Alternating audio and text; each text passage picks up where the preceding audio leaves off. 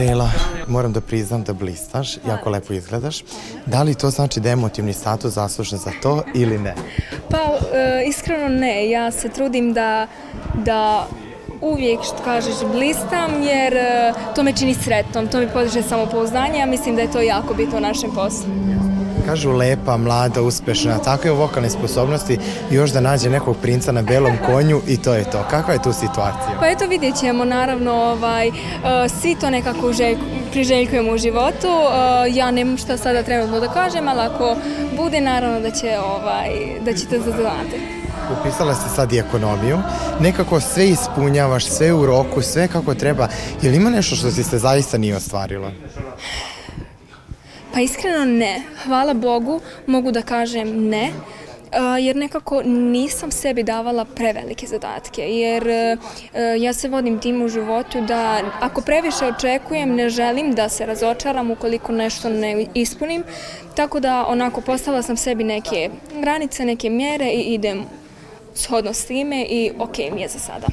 Ali imaš tremu pred sam fakultet? Uh, ja imam tremu pred sve živo i ja sam takav tremaraš, ali se to meni na, na licu ne vidi i mnogi ljudi zbog toga kažu da sam hladna zato što se ja borim s tom tremom. a u suštini? da, da, uh, imam naravno tremu prije fakulteta, eto vidjet ćemo gdje ću biti, šta ću biti, na kojem fakultetu ću biti, naravno to će biti neka ekonomija, ali vidjet ćemo koji smjer. To od septembra je tako počinje, čisto da razjasnimo za ono ko nije Tako je, tako je, tako je, neki kraj, septembar, oktobar, tako. Imaš još polako vremena da sve onako postiš na svoje mjesto. Tako je, tako imam još vremena uh, za, za neke nove pjesme i naravno bit će toga i kada budem na fakultetu, a ne kažem. Evo, kažeš, veliki si tremoroš i to sve što zapravo prati ovaj posao i scene i svetla kad se upale kamere i sve. Kako si uspjela tokom takviča Zezu Granda da se suzdržiš, da, da ne pokažeš emocije? Uf, pokazivala sam ih prije i poslije. E, onako kad izađem na scenu, kao da, da, da mi je jasno gdje sam i da ne smijem to da pokažem, ali prije i poslije toga je bio onako par puta meni veliki problem i veliki pritisak i onako uh, da ne znam šta ću trenutno sa sobom, ali... Kao svet ispred tebe da se ruši. Tako je, tako je. Nije da se ruši, nego se sve okreće. Sve se okreće i nije mi dobro, ali u suštini sam bila okej. Okay. Da li je moguće sad nadmašiti pesmu Ruine?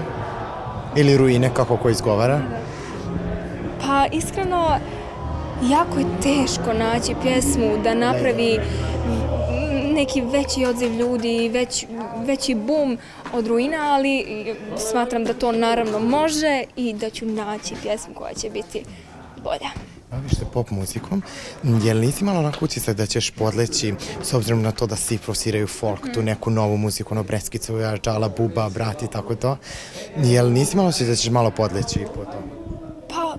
Ja nisam uopšte isključiva, e, za sada nisam, ali taj novi trend e, ne mogu da kažem da me ne privlači. To je ono što je trenutno moderno i što se sluša, htijeli to ljudi ili ne prihvatiti, ali što se tiče folk muzike, ja mislim da nisam baš dobra u tome. Da, nisam dobra u tome i ostaće to kao stvar koju ja izvodim na nastupima.